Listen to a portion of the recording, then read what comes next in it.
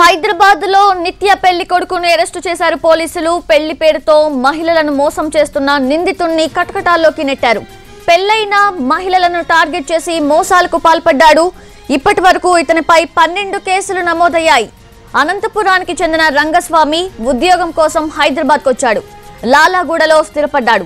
హైదరాబాద్ వచ్చిన కొద్ది రోజులకే అతని బుద్ధి వక్రించింది. రాంగ్ రూట్ పట్టాడు రంగస్వామి. పెళ్ళైన మహిళలను టార్గెట్ చేయడం మొదలుపెట్టాడు. అమాయకంగా నటిస్తూ పరిచయం పెంచుకొని తర్వాత వాళ్ళను లోబరుచుకునేవాడు. మోజు తీరాక మరో మహిళకు వల వేయడం అతనికి బాగా అలవాటు.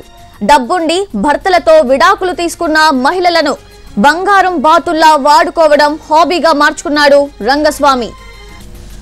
అయితే లాలాగూడలో ఓ మహిళను ఇదే తరహాలో మోసం చేసిన రంగస్వామిపై కేసు నమోదైంది.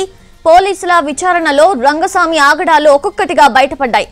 రంగస్వామి గతంలో మహిళలపై అత్యాచారాలు చైన్ స్నాచింగ్ దొమ్మి ఇలా మొత్తం పన్నెండు కేసులు ఆయనపైన నమోదయ్యాయి. ఓ కేసులో రెండేళ్ళు జైలు శిక్ష కూడా అనుభవించాడు. అయితే అమ్మాయిలా తయారవడంలో రంగస్వామి సిద్ధహస్తుడు. ఇలా చాలా మందిని మోసం చేసి డబ్బులు కాజేశాడని దర్యాప్తులో తేలింది. తాజాగా ఓ మహిళతో గోవాకు వెళ్ళిన రంగస్వామి ఏకంగా అక్కడికి వెళ్ళిన అతన్ని అదుపులోకి తీసుకున్నారు హైదరాబాద్ పోలీసులు.